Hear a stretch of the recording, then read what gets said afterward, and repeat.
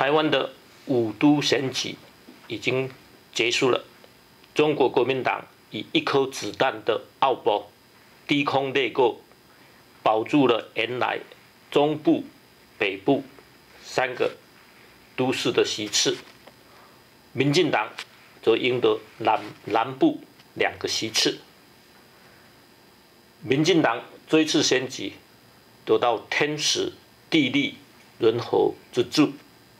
应该可以一口气攻下五都的席位，应该赢而没有赢，让很多关心台湾政局发展的人感到很扼扼腕，很丧气，几天来都睡不着好的觉。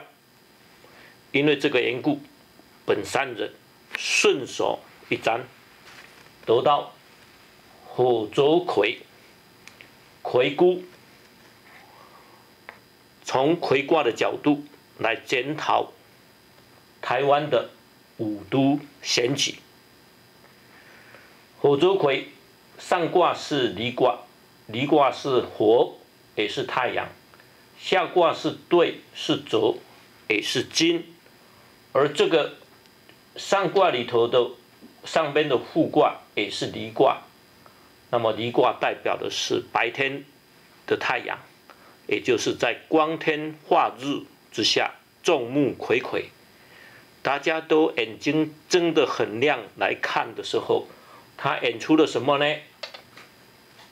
这个复卦是坎卦，坎卦是隐伏，隐伏是什么？是鬼。所以这个选举有鬼，鬼是什么？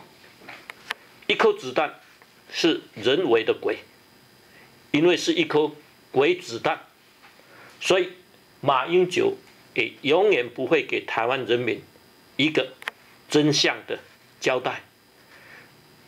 鬼是什么？选举本来是用人来投票，现在马英九再鬼一抽，火烛鬼的上九。这个第九爻谈的就是魁孤跟带鬼再鬼一抽，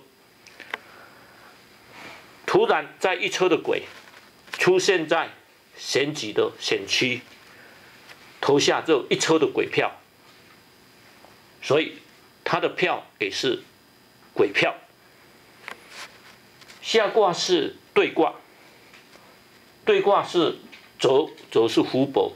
那么它的五行呢是金，所以国民党不分白天不分晚上，无时无刻不投下重金，撒下重金，金就是钱，用钱去买庄，用钱去绑庄，去买票，所以真是应了格呢改不了吃屎。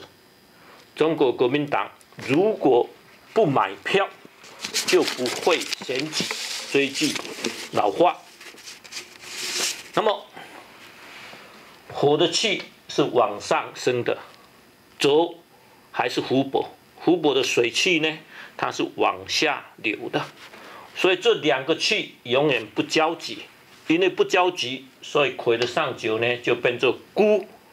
孤呢是孤单一个，孤呢是孤立、孤独。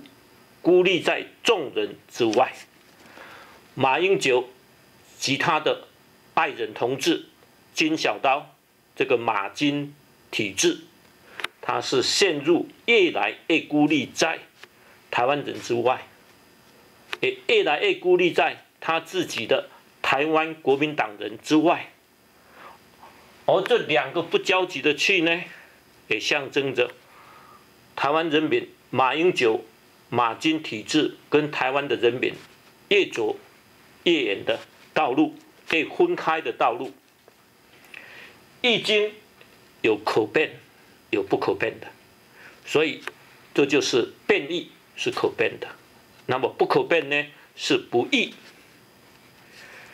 马英九的马金体制，借着撒下重金，借着鬼票，借着一颗。鬼子弹暂时借着人为的力量，改变了他该输而未输的局面，就是利用人为的力量做短暂的改变。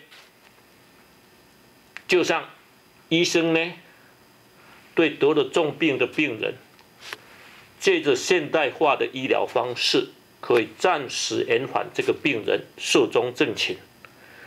但是对马金所领导的中华民国，他不可变的就是他们在台湾的气数已尽，所以暂时可以延缓他们的崩盘，并没有办法阻挡他不可改变的已尽的气数。为什么呢？因为火气向上，水。浊是湖泊，湖泊的水会想往下流，两个当中没有交集，所以在五都选举之后，该是台湾人民跟马金所领导的中华民国各自分道扬镳的时候到了。谢谢大家的收看。